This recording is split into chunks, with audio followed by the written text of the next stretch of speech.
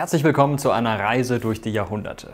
Das siebte Jahrhundert ist eins, das heute noch sehr viel Einfluss auf Menschen auf der ganzen Welt hat.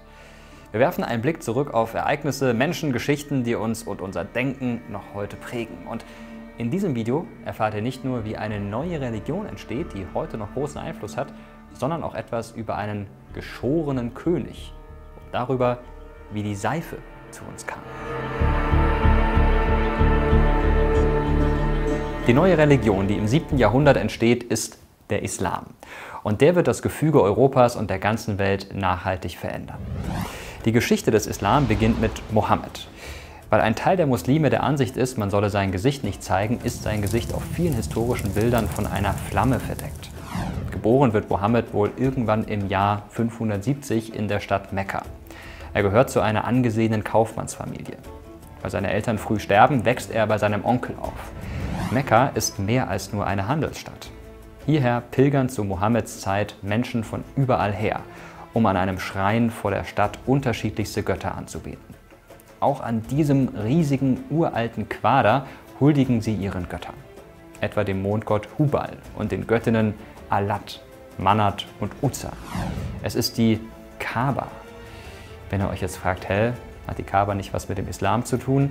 Dann liegt ihr ganz richtig, aber dazu kommen wir später. Mohammed selbst ist zu der Zeit vermutlich ebenfalls noch den Göttern seiner Familie verbunden. Sicher ist das aber nicht. Mohammed wächst auf und wird zum Kaufmann. Zu seinem Job gehört es zu reisen. Dort lernt er viel Neues kennen. Wahrscheinlich kommt er so auch mit monotheistischen Religionen in Berührung. Den Religionen, die nur einem Gott huldigen dem Christen und dem Judentum. Mohammeds Lieblingsplatz ist in einer Höhle auf dem Berg Hira im Nordosten von Mekka. Er geht regelmäßig dorthin, um ganz allein nachzudenken. Der Legende nach ist ihm dort eine Gestalt erschienen. Womöglich der Erzengel Gabriel. Er befiehlt Mohammed, eine Botschaft von Gott entgegenzunehmen. Mohammed verlässt den Berg als veränderter Mensch. Er verbreitet ab jetzt die Botschaft des Erzengels und predigt den Glauben an nur einen Gott, an Allah. Er unterwirft sich ihm. Und genau das bedeutet das Wort Islam. Unterwerfung. Übrigens nur am Rande, Mohammed verkündet als Prophet im Prinzip genau dasselbe, was auch die jüdische und christliche Offenbarung verkündet. Judentum, Islam und Christentum bezieht sich nämlich im Grundgedanken alle drei auf denselben Gott. Mohammed jedenfalls, so sagt man, trifft Gabriel noch viele weitere Mal. Dabei soll der Erzengel ihm nach und nach die heilige Schrift des Islam diktiert haben den Koran. 20 Jahre wird es dauern, bis die 114 Suren fertig sind. 114 Kapitel, die die Grundregeln für ein gottgefälliges Leben darstellen. Einige dieser Regeln sind zum Beispiel, dass man regelmäßig beten, armen Menschen helfen und im Ramadan fasten soll. Mohammed ist inzwischen Ende 40 und man kann nicht gerade behaupten, dass er schon viele Leute bekehrt hätte. Zu der Zeit hat er vielleicht 40 Anhänger. Kein Wunder, viele Menschen sind in Mekka von Mohammeds Predigten nämlich gar nicht begeistert.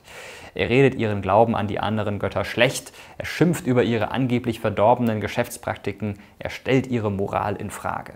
Und er vergrault Kaufleute und die Pilger, Mekkas wichtigste Einnahmequellen. Aber Mohammed gehört zu einer der mächtigsten Familien der Stadt.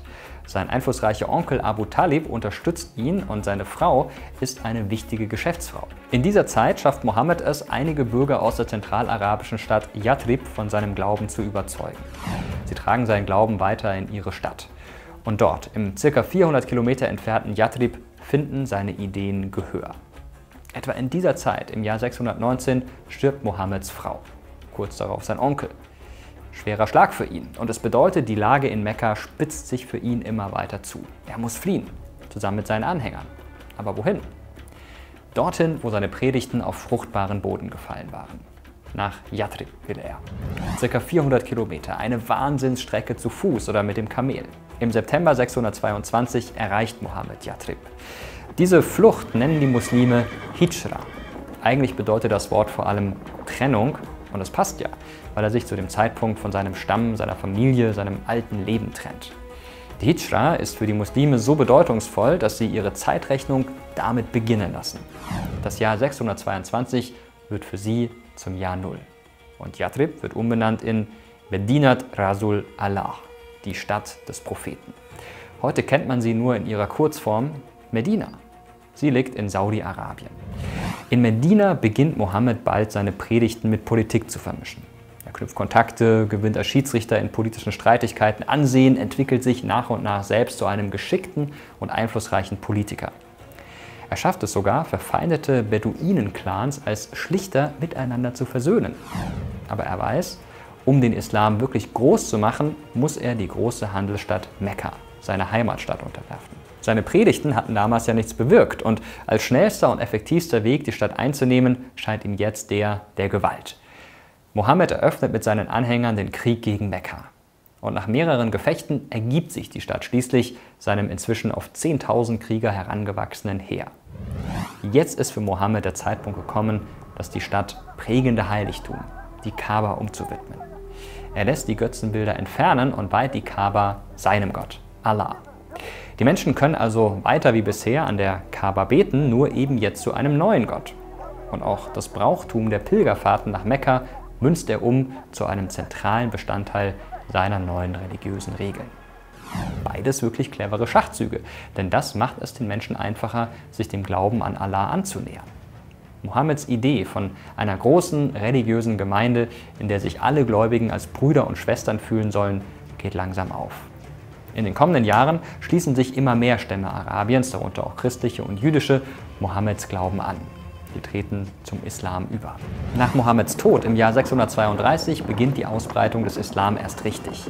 Die ersten drei Kalifen, also Nachfolger Mohammeds, erobern innerhalb nur zweier Jahrzehnte Syrien, Irak, Palästina, Ägypten und das große persische Reich.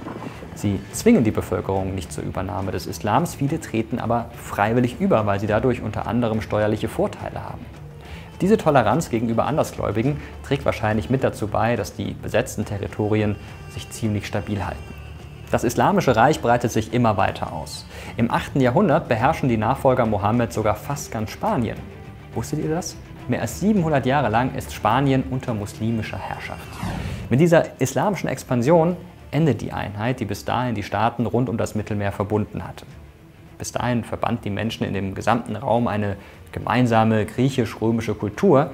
Jetzt trennt ein islamischer Süden sich vom christlichen Norden. Es ist übrigens nicht so, als seien deshalb sofort Mauern zwischen den Religionen entstanden oder als hätte es ganz plötzlich eine strikte Trennung zwischen Morgenland und Abendland gegeben. Die Menschen, egal welche Religion, trieben selbstverständlich weiterhin wie bisher Handel miteinander. Sie reisten zwischen den Ländern und Christen pilgerten weiterhin nach Jerusalem. Und die arabischen Eroberer bringen vieles mit, das uns heute selbstverständlich ist. Nicht nur bis dahin fremde Pflanzen wie Reis, Spinat oder Zitrusfrüchte, auch ihre Kenntnisse in Medizin, Astronomie oder Architektur. Und sie verkochen erstmals Öl und Lauge miteinander und die Seife, passt wie wir sie heute kennen, ist erfunden. Dieses Seifenwissen wird Frankreich und Spanien später zu den internationalen Zentren der Seifenherstellung. Da sieht man schon, die arabischen Eroberer ziehen noch weiter ins heutige Frankreich. Bis zur Loire dringen sie vor. Aber dann kommt ihnen ein gewisser Karl Martell in die Quere. Zu diesem Mann, der für uns Deutsche eine große Rolle spielt, erzähle ich euch dann mehr im Video zum 8. Jahrhundert. Und was ist im 7. Jahrhundert noch passiert?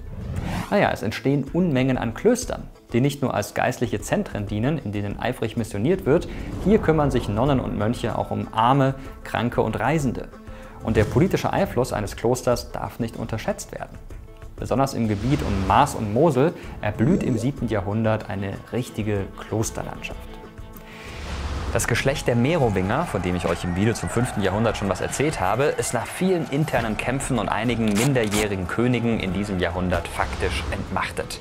Der letzte wirklich noch bedeutende Merowinger König heißt Dagobert und wenn ihr jetzt an Dagobert Duck denkt, liegt ihr nicht falsch. Disney-Übersetzerin Erika Fuchs hat sich nämlich für den deutschen Namen des superreichen Enterichs bei den Merowingern bedient.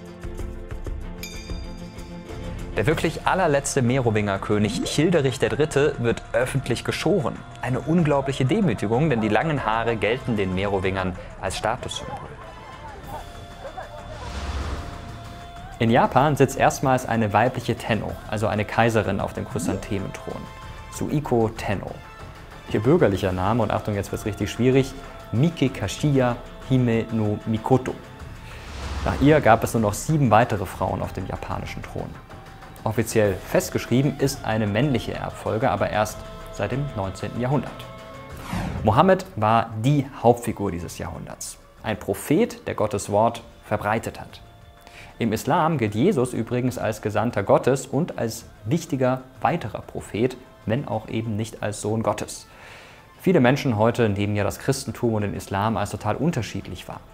Da würde mich mal interessieren, wie seht ihr das? Sagt ihr, naja, die Wurzeln sind ja schon ähnlich und viele Gebräuche und anderes? Oder sagt ihr, nein, das ist komplett anders? Schreibt es gerne unten in die Kommentare, lasst uns darüber diskutieren und wenn ihr euch weiter informieren wollt, was in den anderen Jahrhunderten davor so passiert ist, klickt einfach oben auf das i, da findet ihr eine Playlist dazu und hier direkt neben mir praktischerweise verlinkt nochmal die Videos zum 6. und zum 5. Jahrhundert. Danke euch fürs Zuschauen, bis zum nächsten Mal.